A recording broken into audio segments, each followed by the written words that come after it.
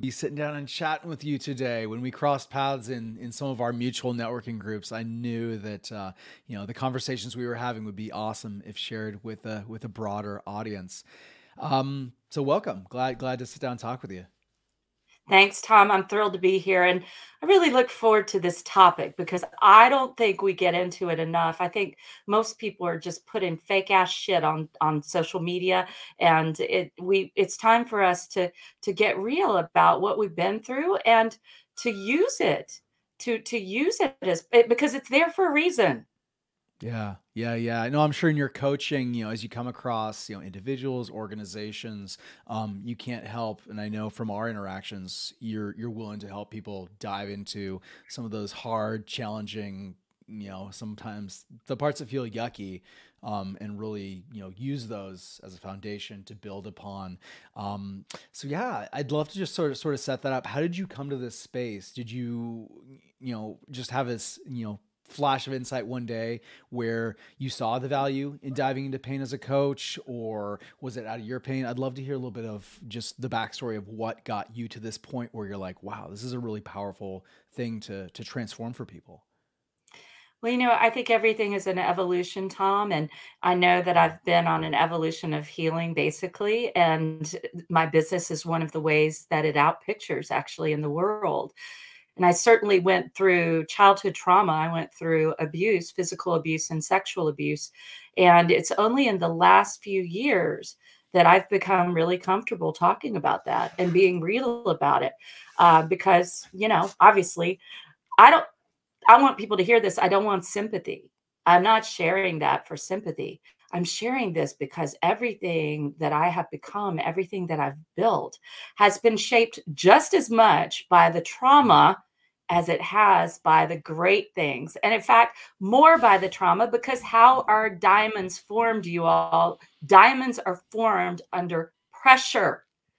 We don't get anywhere when we're in comfort zone. And I'll tell you what, trauma immediately kicks you out of comfort zone. I love that. Yeah, it's so easy to get stuck in those spaces and I appreciate your vulnerability in in diving into that because it is something that, you know, I know for me for a large chunk of my life, that was the part that you kept sort of sealed away. Um, but if you come to it, you know, I know if you approach it with boldness, and I'm sure you can validate it, um, you can unlock and dive into it. And it's not always fun. It's never, you know, it's often not pretty, but it really gives you that that internal strength, really that grounding, right? Can you is, is that something you've seen whereas you've helped people? Uh, you know, I, I've, I've seen you know other other coaches, you know, coach people to a place of greater stability and just um, owning ownership of your past and kind of like yes. you know Jung talks about that dark side of us um can you is there anything where you've seen around that helping people own you know those parts absolutely that, you know, every yeah. single person who sticks with me for the long term, either through going through all the levels of Reiki stress and pain relief, you know, going through all the levels. It's kind of like martial arts, it has levels. And I'm actually called a Reiki master, by the way, Tom. Woo! Nice. That's my title, right?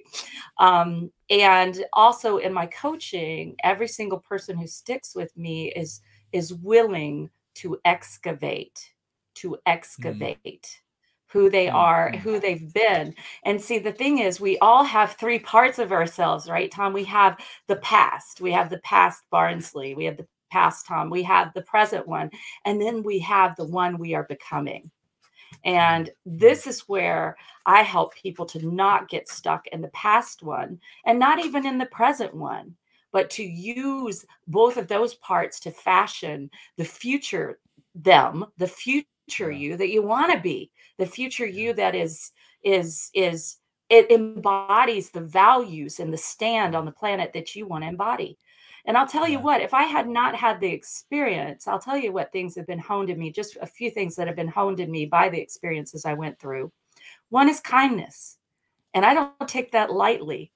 I was just talking with the creator of the kind mind podcast yesterday and we were talking about how kindness is honed not through sympathy, but through empathy. And empathy comes from having an experience of being human and being helpless, perhaps. I certainly felt helpless as a child to change anything. I didn't know it could be changed. And, Mm. you know, when people get into a, a, a very difficult relationship, what I like to call a relationship, Tom.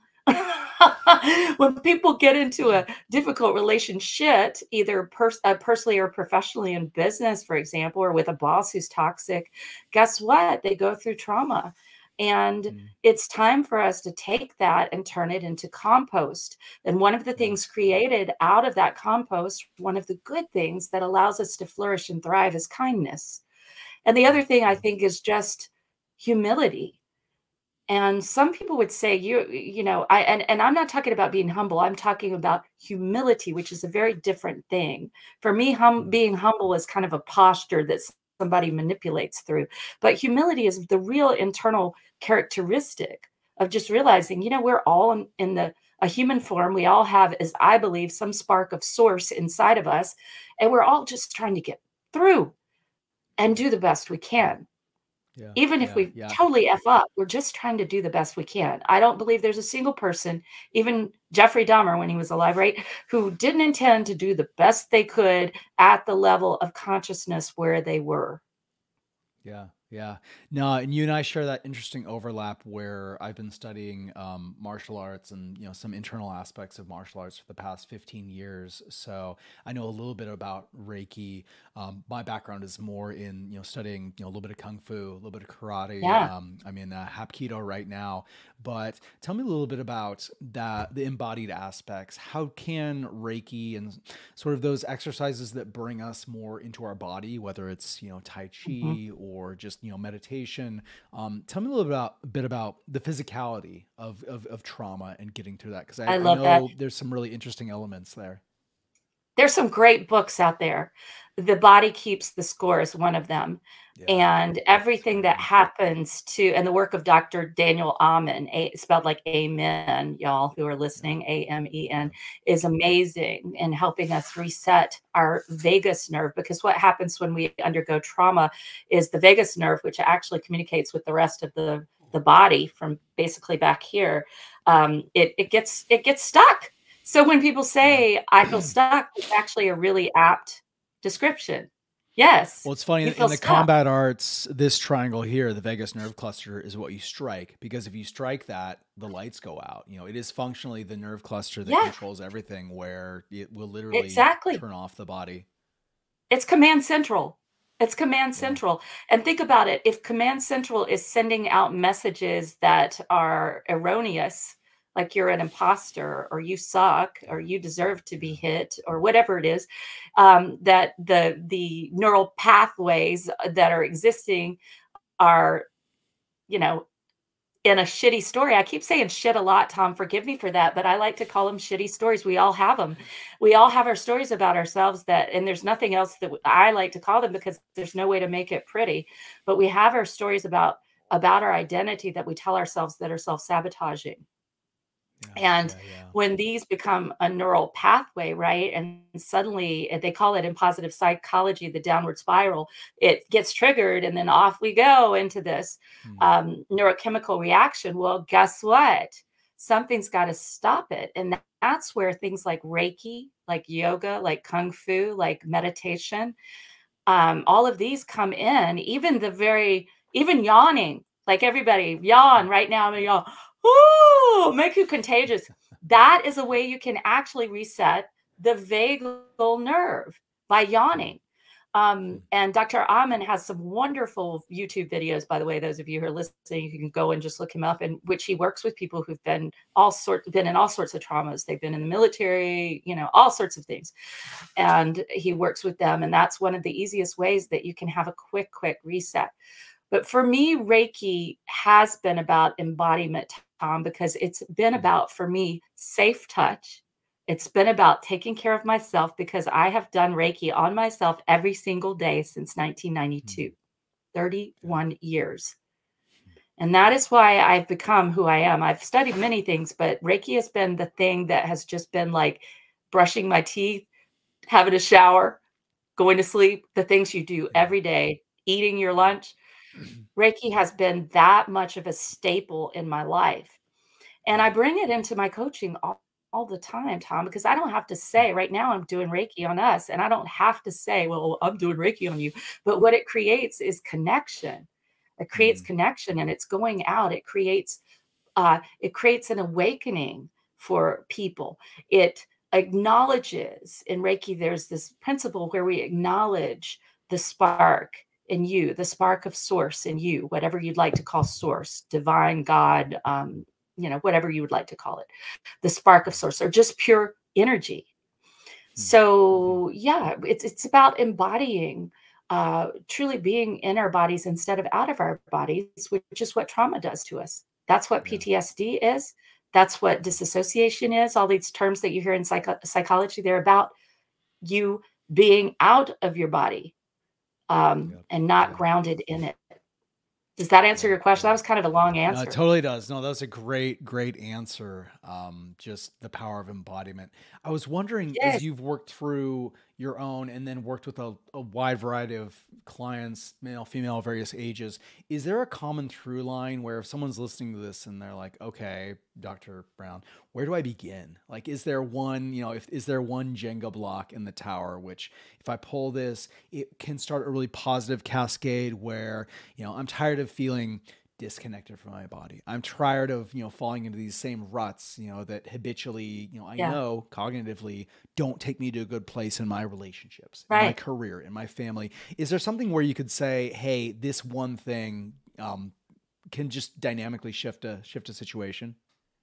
Yeah, they need to come work with me, Tom. of course, of course, absolutely. well, let me just say, okay, all right. Now I say that somewhat facetiously, but what I mean, you all, is that we need to find someone who is where we want our future us to be. Okay. Mm, So the thing in being successful in business and being successful in life is about finding models who've actually gone where you want to go. They've made it over the hot coals. They've made it through the crocodile infested moat and now they are at the the castle, right? And they are going to make our journey so much easier, so much with so much less stress and frustration, uh, so much less cortisol, the stress hormone you know, they're going to make it enjoyable.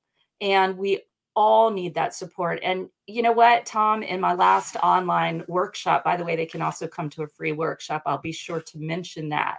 And they'll get a lot of a lot of value there just for free. And that's my gift to everyone. But you know, when we approach these things, we have to realize that what happens to lone wolves? Lone mm, wolves die, they starve mm, there's a reason there's a pack, and we all need a pack. And so I counted up recently, Tom, I counted up how many coaches and mentors who I've invested thousands of dollars in, by the way, how many I've had in the last, say, five, six years. And there are yeah. 16, Mm, 16 coaches and mentors.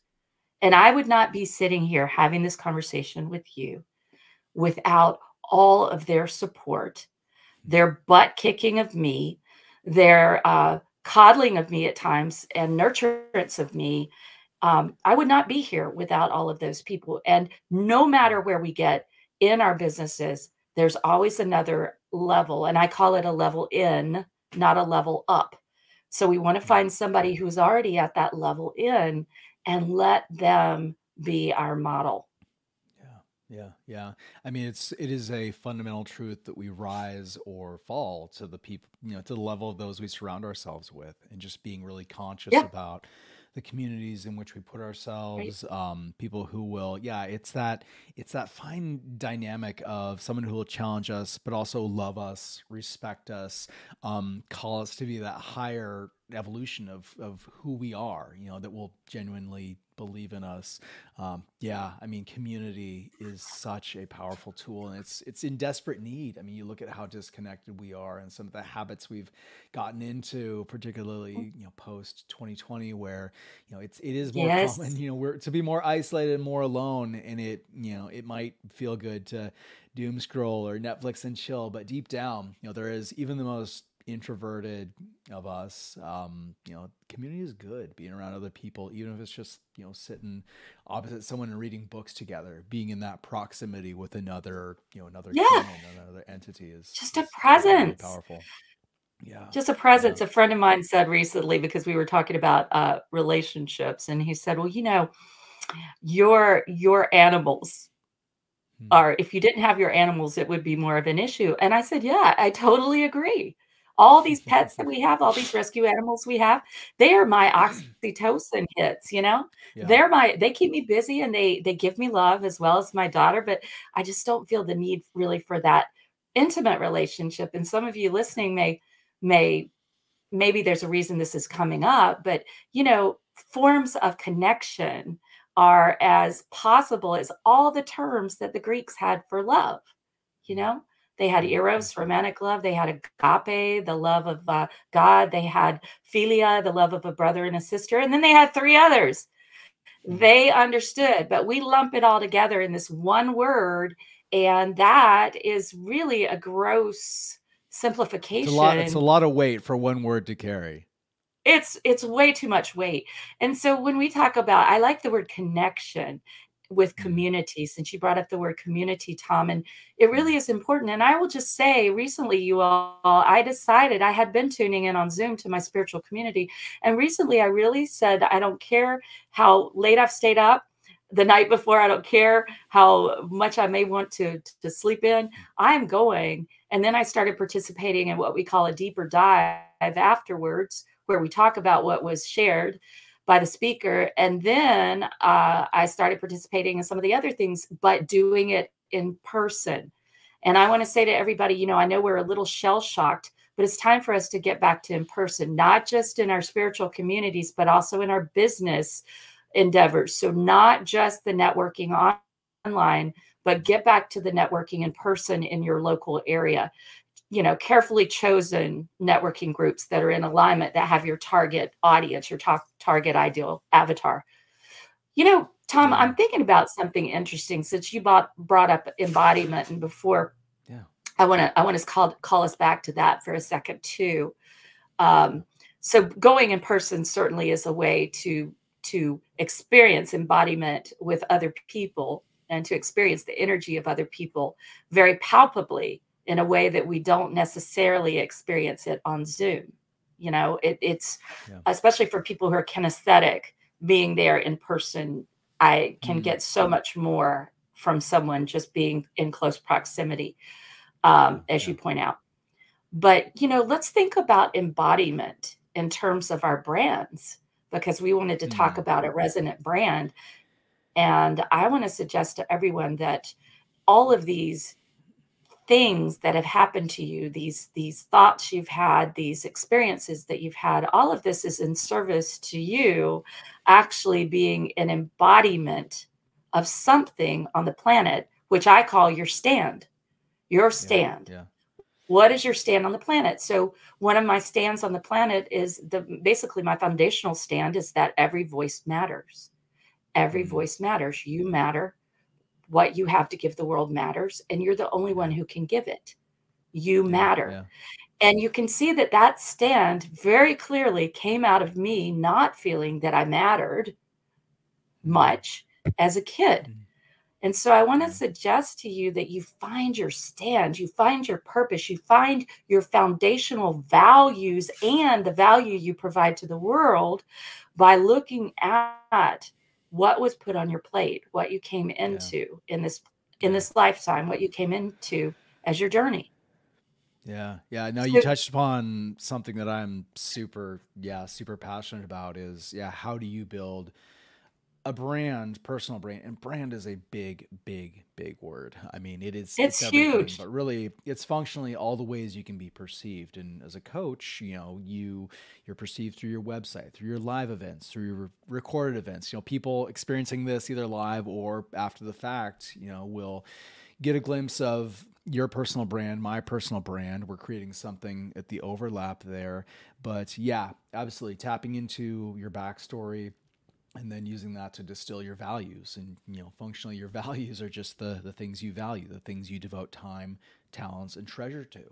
Um, and if you Tom, you and I are on the same yeah, wavelength. yeah. You know what came to me right before we got on here? It was What's that? exactly that phrase time, talent, Yeah. and treasure.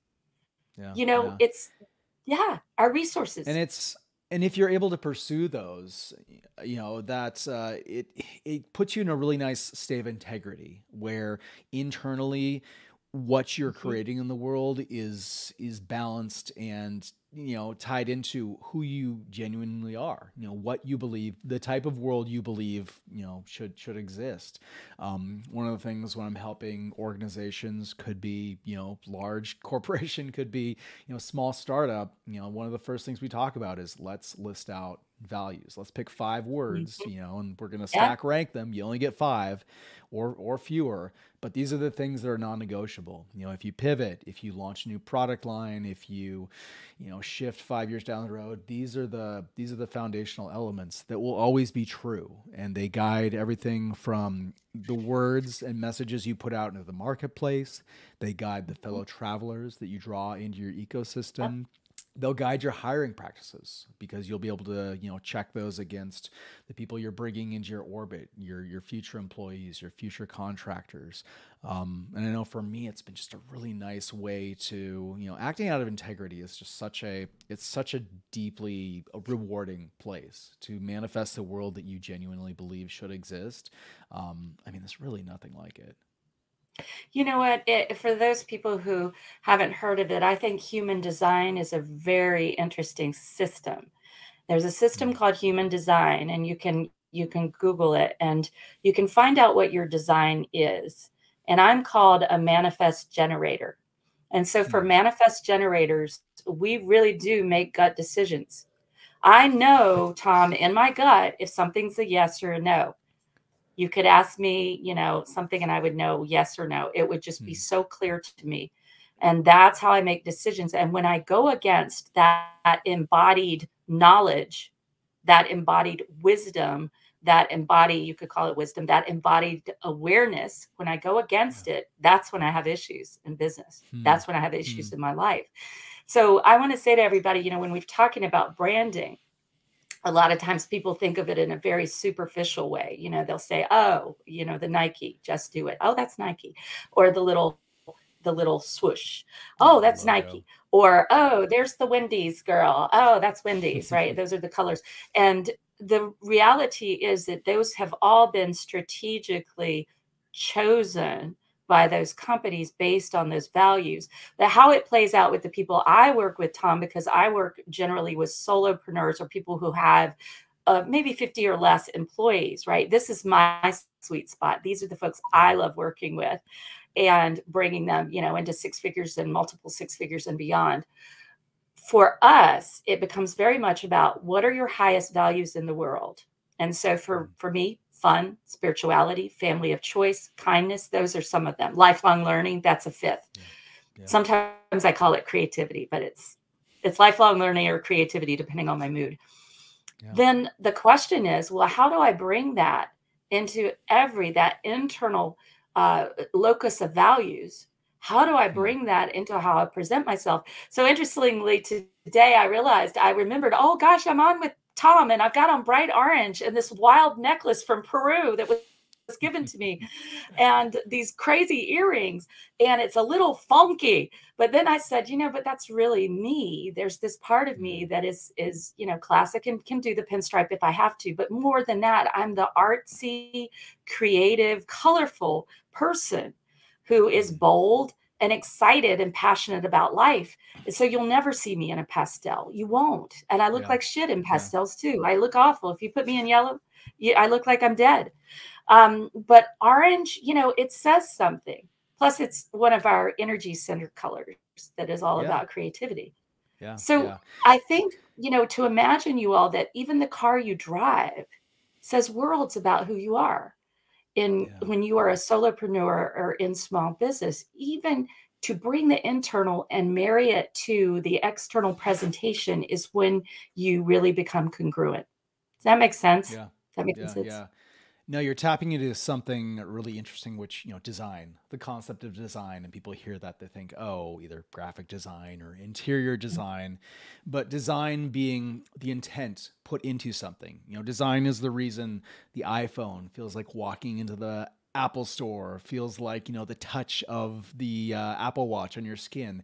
It's that consistency, that coherency. Um, and I love your example of you know clothing, the clothing you choose to wear. I did a rebrand for a, a technology provider in uh, Syracuse, New York, about 15 years ago. And after we did the research, we came to them and new logo, new new colorway, which is just basically the colors they use.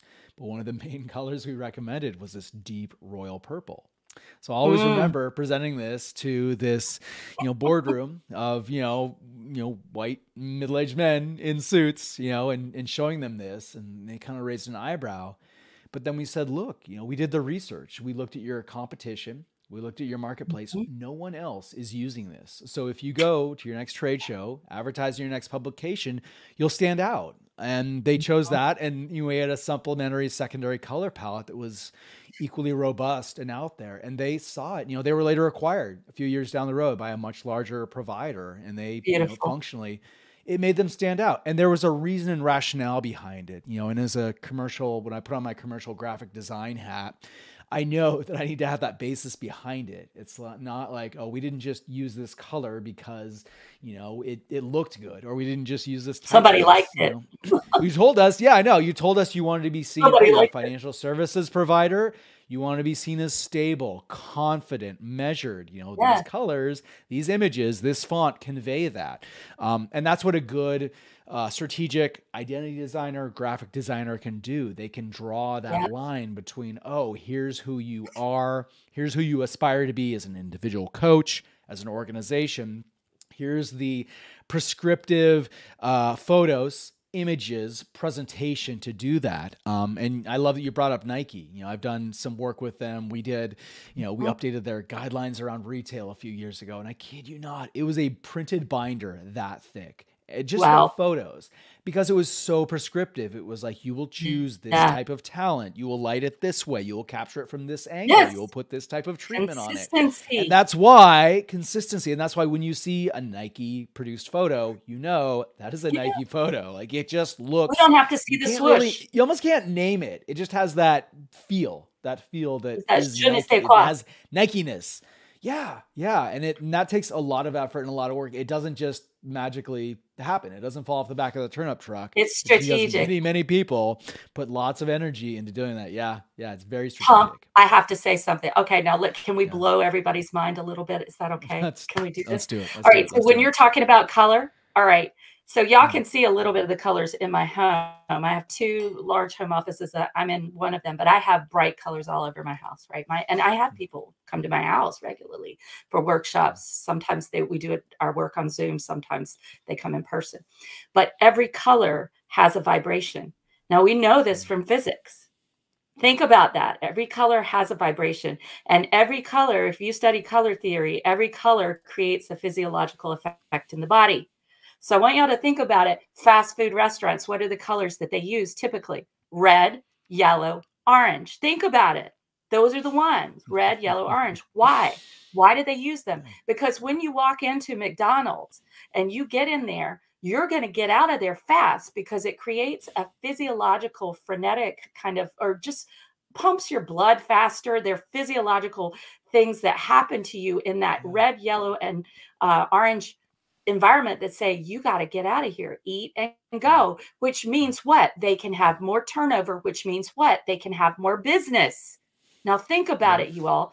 Uh, when you go into a nursing home right? What color do you see? Not red yellow and orange. You see pale green you see pale blue. If you ever go into a mental institution to visit someone maybe i hope you don't go there for yourself but if you need to go. Let me just say just go. Um, if you need to not of shame in that but always it's those calming colors those greens and those blues because the physiological effect is it brings the heart rate down it slows mm. the respiration and it creates a feeling of calm. So hmm. think about this with your brand and certain colors are associated. I know the color burgundy i love the color burgundy. It's in my it's in my branding colors. I have like a burgundy and a salmon. So i'm really not off my branding colors. This is just a brighter version of it and a royal blue those are my branding colors the salmon brings in a more feminine feel because even though i work with men i do work more with women overall mm. and the burgundy that i was attracted to guess what studies show that the most highly educated people resonate with Burgundy. All right. Mm-hmm. Now you can find this, you all. You could go on the web and read studies, make sure you have a good, you know, good source. So everything you are basically, when you have a business, when you embody your values in a business, what you're doing is translating what's inside of you in a way that somebody could see the outside and say, Oh, I get it. And I like that. And they could also say, I get it. And mm, she's not for me. She cussed. She said shit four times during this interview. Oh my God. How could she do that? She's a woman. She should not curse. And, mm. you know, those people are not my people, right? My people are the ones who are going to just speak it like it is. We're going to, we're not going to mm. hold back and we're not going to kowtow. So mm, I wanted to say that, Tom every color has a vibration. What are the vibrations you're putting out there? This is physics, you all. This is nothing woo woo at all. Yeah, yeah.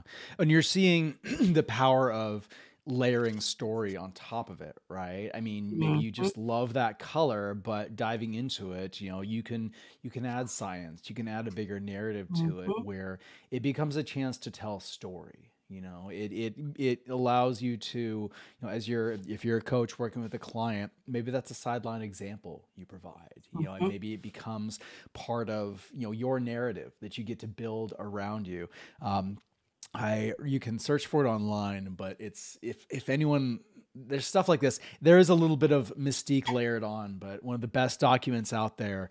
I forget the agency that produced it, but when they redid, redid the um, the Pepsi logo, this was about 15 mm-hmm. years ago, to the new sort of, if you think at it, it's almost like a swooping triangle um, mm-hmm. There's a document you can find it online. It's like a hundred pages long of the very specific intention behind that swoop, where it's a mm. smile, it's the wind in the sails of change, it's all these things, and it is a little bit. There is for the rational part of my brain, you can look at it and say, well, there's a large element of that that is potentially hokum, but you know, it's who are who are we to judge someone else's story? You know, if it is true to, I mean, that's a large mega corporate brand. We can bring it down to the personal level.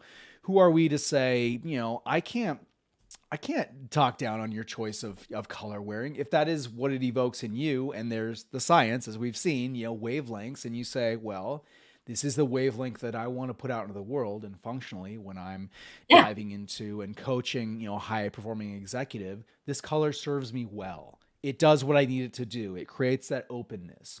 It brings out, you know, your your sunny spirit where, you know, it, it shows that, you know, I'm not afraid as I know you're Dr. Barnsley to go first and say the hard thing. You know, yeah. that's so much of so much of coaching is being willing to, you know, to fall down first and say, yes. I mean, it's, it's tough love. Know, giving giving permission you know, giving permission by yeah. going first, right? I mean, I I've been around coaches long enough to know that that is that is a superpower if you're willing to do it. It is a superpower, and actually, to to to tie that to why you give people what you give them. All right, so mm-hmm. you know that I've had a couple of things going on in my personal life, which I'm not going to share here, but let's just say you all we all have things that happen with family members where we may get pulled away from our business for a while. Well, yesterday when I was meeting with my Make It Happen Mastermind, I had a great um, joy in sharing with them. I said, "Now you all know," because I shared with them what was going on and that I would not be quite as available as I usually am. And I said, "And here's the thing: I want you to know, I want you to guess how much I made last month in my business." So they're putting stuff up in the chat, right? And I said, somebody's going to win a prize, right? And I said, Are you sure you want to stick with that? 5K? Really? Are you sure you want to stick with that 10K? Really? Are you sure you want to stick with that 8K? And as it turns out, I, was able to show them that what I had made was possible. I said, Why was it possible me, for me to still make what I make while I was pulled away? Let's talk mm-hmm. about that. And we got into the most interesting discussion um, of the fact that the seeds that we sow consistently can reap a harvest even when we're, our attention is not there. And this is true. The brand will carry it when we can't. The brand mm-hmm. will carry something for a little while when we can't. And we had this mm-hmm. great discussion of it so I just wanted to share that. And you know, Tom, I was thinking about when you were talking about differentiation, I was thinking about how very important that is in business. You were talking about the purple color, right? Which is really business differentiation. They come in, they have this this i'm guessing they had pretty boring colors that were you know beiges and blacks and whites and this i'm just guessing not and too to far not too far away yeah yeah i'm pretty right right grays and here to come in with a deep purple that's differentiation at its best as long as it has to do with the values of the the exactly. you know maybe the, the, company loves to teach it uh, to treat its customers like royalty and there's a there's a meaning in the the the purple that way or maybe there's another meaning in it but differentiation is so important and i want to tell a quick story i was invited by someone a corporate exec to come speak to the to FENG, which is the the Financial Executives Networking Group. All right. And Tom, I thought, now I really liked this person who invited me. All right. We were probably as different as we could be politically, but our values were very much the same. The way that we approached parenting, and some other things was very similar. So we bonded there. And when he invited me, I thought, wow, this is going to be really interesting. This is really not my best group. I had a lot of judgments. You know, it's mm. mostly men. There might be one or two women there. And what do I have to say to financial executives? I don't, you know, there were a lot of things that went on. And, and I got myself in this really kind of bad space about it. And then when mm. I went to get dressed, Tom, I pulled out the pinstripes that I still had in my mm. closet they still fit. That was good. And I pulled them out and I thought, okay, this is probably what I should wear. And then I had this mm. moment, Tom. I had this moment of reckoning. And I said, Barnsley, Dr. Barnsley, Dr. Barnsley, you are not wearing this. You mm. are wearing what you love. So I put on this really interesting, very expensive black uh, coat mm. that had embroidered flowers up and down the sides. And it was just unusual. It was very classy, but it, it was one of a kind. And I wore that. Hmm. And I also, Tom, I did not do lecture format. I had these guys get up and do improv comedy, improvisational work as I taught them about the secrets to savvy networking. And yeah. it was a hit. They told mm-hmm. me later there were only two women in this huge packed room. There was nowhere to sit. Actually, there were no seats left. They told me yours was our favorite presentation all year. We loved your presentation. Now, why did they love it? I'd love to say it's my shining wit, my charm, blah, blah, blah. It was so very different. Plus, I really stood in my power. And my power is getting people to get up and experience, have a learning experience, and to get every voice to speak. That is my power in presentations and facilitation. Yeah. Even when I did a keynote for 1500, Tom, I had them making beautiful paper airplanes and they had to throw the airplanes with something written inside and have an accountability partner in a a convention center with 1,500 people present. And I got a standing mm-hmm. ovation, but I stood yeah. in my power. So I really want to say to everyone listening, you've got to really come to a moment of reckoning with yourself and ask yourself what feels true to you? What feels true to you? And I wanted to ask you, Tom, when you spoke to those people in that boardroom about the purple, what were you wearing out of curiosity? Mm. Oh man, Do you remember? yeah, I, I couldn't even tell you. I, it was so long ago. Um, but I you brought up something really interesting, and in my you know in in the realm of marketing, positioning. So figuring Yes. out where you fit. You know, the marketplace is is crowded. Will always be crowded. It's flooded. There's a lot of other Yeah. competition. Um, yeah, so being able to say, okay, this is where you know, one of the exercises I enjoy doing is okay. Let's let's make an XY plot. Let's figure out where you fit on this. You know, let's pick mm-hmm. pick a factor to represent each of those axes, and then who are you, you know, closest to? You know, if you know who are you in competition yeah. with, and let's figure out where where you fit. And the other thing, you know, you mentioned going to that event, figuring out what you're going to wear. We each, you know, by nature of just, you know, the container in which this soul is wandering around in, we come to a yeah. room with certain, you know, we will be perceived before we even open our mouth. You know, I mean, we'll be perceived in a certain way. And the power of working against that, you know, whether, you know, there are certain cultural conceptions humans are stereotyping machines. It's not good or bad. It's just our brains need to preserve glycogen. So we like putting things in boxes and it's just yeah. what we're wired for. So when we meet someone, you know, we're kind of anxious, you know, until, you know, we can say, okay, oh, I can file them away here. Um, it's something we can train and grow our ability to be more flexible around filing people. Uh, but your story was really fascinating in that you know you show the power of going against standards going against mm-hmm. dynamics um where you and i are in very expectations you and i are in very different regions of the country you know me being on the west coast you being more in uh-huh. the, the southeast so yeah. that has a certain conveyance you know uh, and and changes the room into which you can walk um so all that to say being aware of how we're received and you know and and sometimes you know it can be difficult to read the label you know from inside the bottle that's where having that trusted group of friends who are willing to speak mm-hmm. truth and say hey you know dr brown i see you like this or you know this is this is the way you come yeah. across and it's not good or bad you just it's information it's you it's so i want to say something use. about yeah. region that you brought up yeah. Um, yeah. this is really powerful okay now this is kind of funny i've spoken for uh, community in California for a long time, all throughout COVID. They had me coming in to speak to them over and over and over again. And from Santa hmm. Rosa, California, I just loved them. I never met them in person ever, and in Oregon. But see, yeah. people will guess. They'll say, "Are you from New York?" I am from North hmm. Carolina. Let me just be clear. I am from North Carolina, but I do not. in some ways, I might be a Southern woman because we do have a way that we can put it. Put we can, as my mother would say, you know, we can we could say the thing. We can we can put the nail on the head there. But there's yeah, a specific yeah. way she says it. Um, hmm. And we can use just one little turn of phrase like "bless your heart," and we've just brought somebody down to here. you know, you just put it at the beginning or the end of the sentence, and then you can say what other bad any bad thing you want to say in between. Like, bless his yeah. heart. Did you see he was drunk at church? Or, oh, she just yeah. is in her third marriage. Bless her heart. So I am very different from most, I would say, for most women in this area.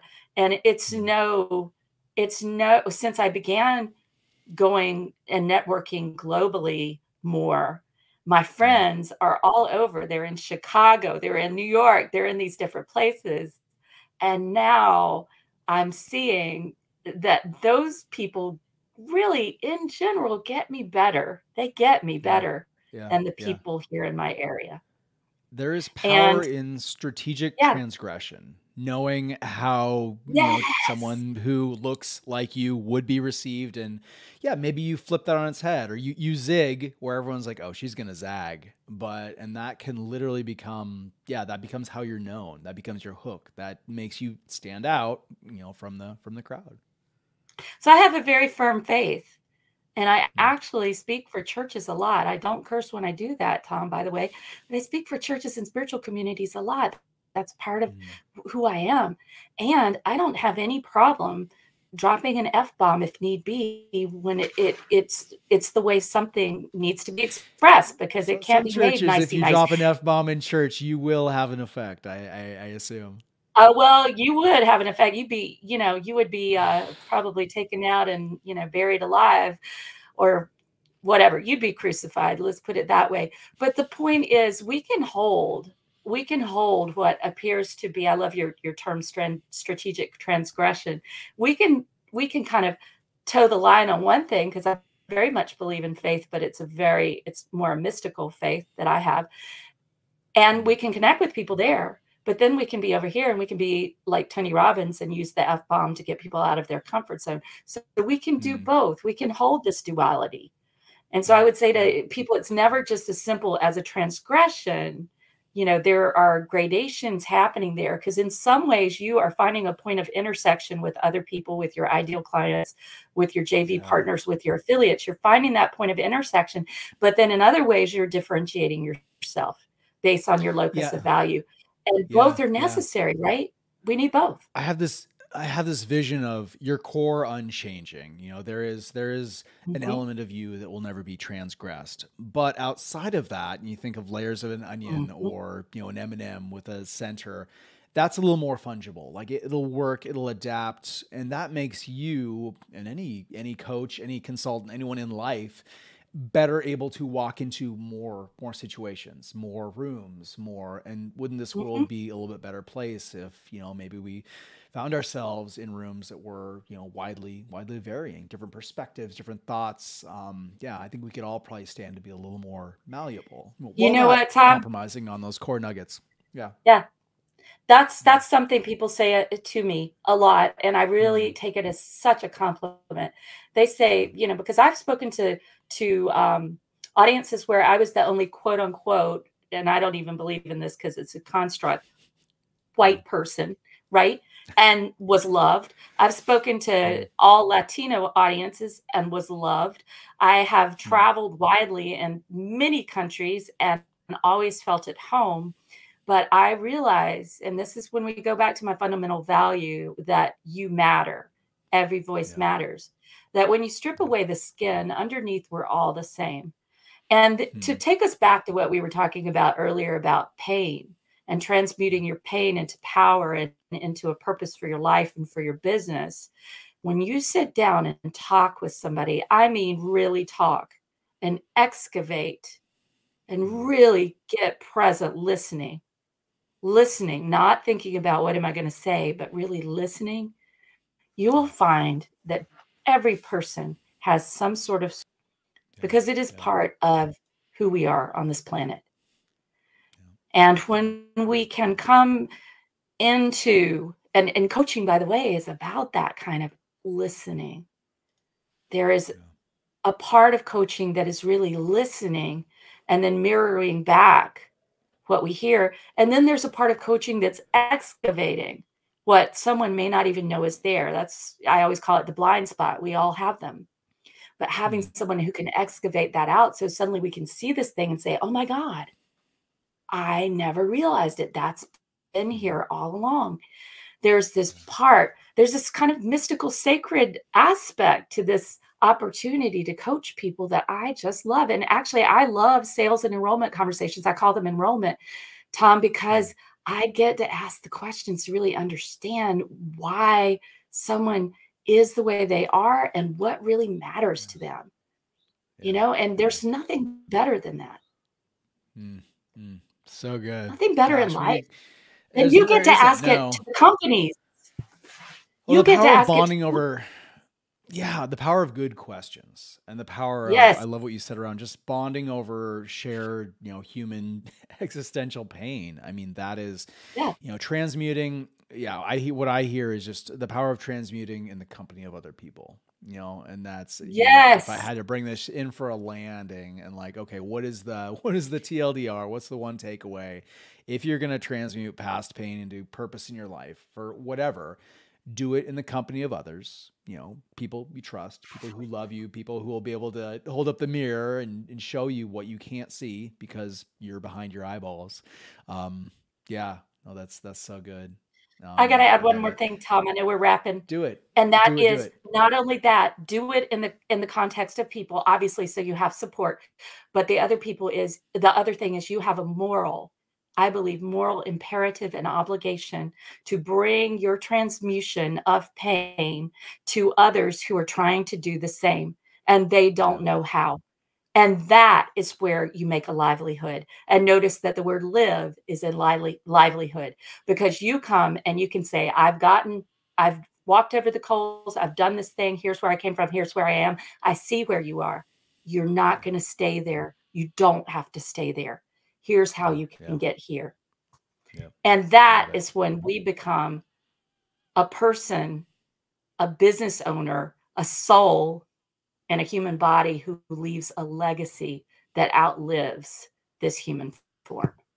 Yeah, yeah. I can't add anything to that. Man, we got Um, deep, Tom. man, I know that's that's. I love it.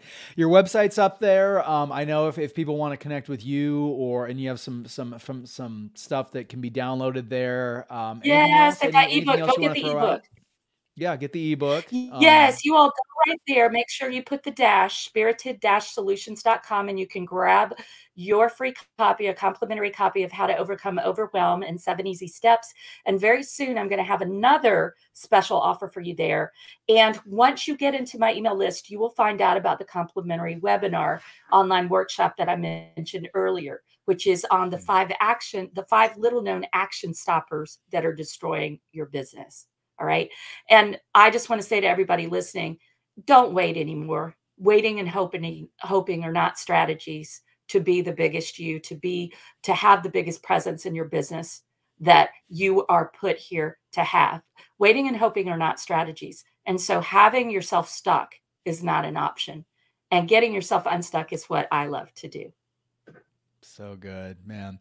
Authority is earned, and you know, Dr. Barnsley, you are an authority in this space, and it's only because you put in the hard work to, you know, you know, do do the work, and that is why Yeah. you speak from a position of authority as a coach. So, so glad we could sit down and, and unpack this today. Hopefully, you know, people tuning in either now down the road to find it useful. But um, thank you so much for the time. I really appreciate you and just being in, counting you as a, as a friend in the network of uh, fellow travelers and, you know, just trying to make this journey of life.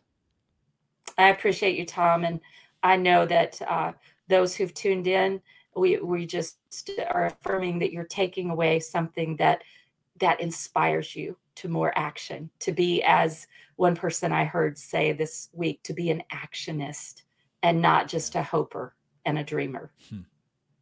Love it. All right. We'll end it there.